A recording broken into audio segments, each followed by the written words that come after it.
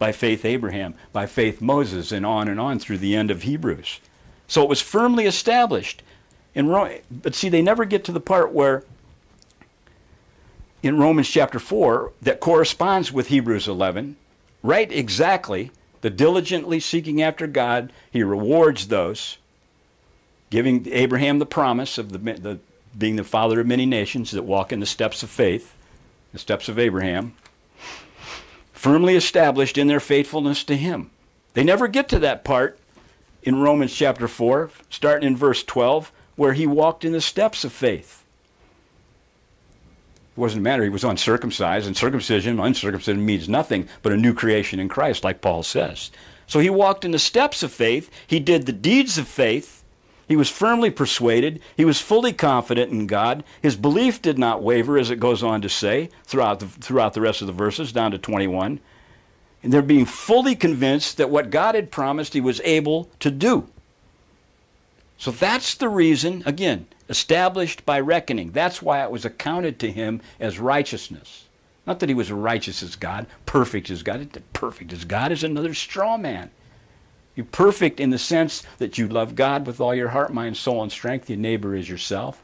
That you each according to his ability, like the parable of the talents, five, two, or one. Not everyone has the same ability, but everyone can do according to their own ability not bury their talent and say, well, you know, you created me a sinner, God, I can't do it. No, no, they can't. There's no, there'll be no eternal life. There'll be no forgiveness of past sins and certainly no redemption. So he was reckoned and righteous because in his faith he obeyed, right? So when it gets down to after Noah, what he did, and then in verse 8, by faith Abraham obeyed when he was called. There's the whole key. He was firmly established. He was confident. He was fully persuaded. He walks in the steps of faith, did the deeds of faith. Romans chapter 4. And when he was called, he obeyed. So when it says Abraham believed God and it was accounted unto him as righteousness, it's talking about he was firmly established that God was who he said he was, believe that he is, that he's going to reward those that diligently seek after him in faithfulness towards him and their fellow man, which he did. And so the deeds of faith followed that established in the accounting of his righteousness. Like I said, reckoned would be a better word, or accounting. Reckoned or accounting would be a better word than imputed. He believed and obeyed. Therefore, he becomes part of the righteous line righteous Abel, righteous Noah, a preacher of righteousness, righteous Abraham, and Moses. In Moses, what did he do? He, he was choosing rather to suffer the affliction with the people of God than enjoy the pleasure, passing pleasures of sin for a season. Think the reproaches of Christ, the counting of the cost, the taking up of the cross. If you don't take up your cross and follow after me, you're not worthy of me. How's that faith alone? How striving to enter through the narrow gate? Faith alone. How is the way is narrow and difficult? And very few will find that way. And wide is the way that leads to destruction, and many there go that goes that way. How is that faith alone when narrow is the way and difficult is the path that leads to eternal life, and few there be that find it? You see what I'm saying? The gospel that's being preached in our land, across our world today, is a false gospel for the most part. There's only a handful of people that I've been able to find, that other faithful brethren that are fighting the good fight have been able to find over the years that understand this process of redemption and how faith, grace, and redemption works through the repentance process and the working with God so you do not receive this all in vain and no effect and without purpose. It's only a handful of people we've been able to find. And those that we've tried to help and show them the right way reject it and hate us for it, despise us, call us all kinds of names, and impugn everything that we say. Nothing will impugn you more than living righteous and upright in Christ Jesus. Just like he told Timothy, those that choose to live a godly life in Christ Jesus will suffer persecution. Yes, they will. They'll suffer persecution from who? The religious elitist. That's who they'll suffer persecution from. Because they can't stand righteousness. They don't understand the covenant come to put an end to sin. They say a cov- the, the covenant was established to cover sin. The, the covenant was established for God to pluck out his own eye and pretend that you're not sinning and you're, you're Jesus instead of, instead of a filthy sinner.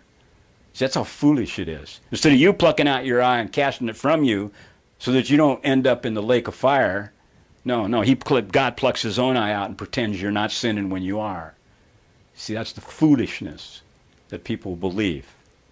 You wonder why people believe so many foolish things are so easily gullible, so, so easily taken advantage of and lied to, pandered to by these phony politicians, all these people in the world, the con men everywhere.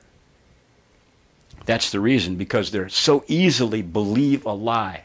Love not the truth, that they might be saved. Take pleasure in unrighteousness, like it says in 2 Thessalonians. See, you got to love the truth, and you got to keep digging into the truth. And when you hear the admonishment of a good, loving brother that comes to you with the truth of the old man dying in repentance, of that root of rebellion being cut out, then listen. Then take heed to that warning. Take heed that perhaps that's the only time you're going to have an opportunity to see and hear. And come to your senses before it's too late. Because many of you are caught in the snare of the devil in all sincerity, in all zeal in what you're doing, but it's spinning your wheels because there's nobody coming out of their sins. There's no one turning from their wickedness that they may save their life, like the prophets said in Ezekiel and Jeremiah. There's a lot of talk. There's a lot of rhetoric. There's a lot of hollering and screaming. There's a lot of lunacy going on out in the streets. And even more in the churches. But no one coming out of sins that we can see. Only these one on one discipleships, these pulling them out of the fire, like Jude said, fearing even your garment to be defiled by the flesh. Only there are we seeing any results and fruit in this last days, if it indeed is the last days, that we face. So I beseech you to think about these things again.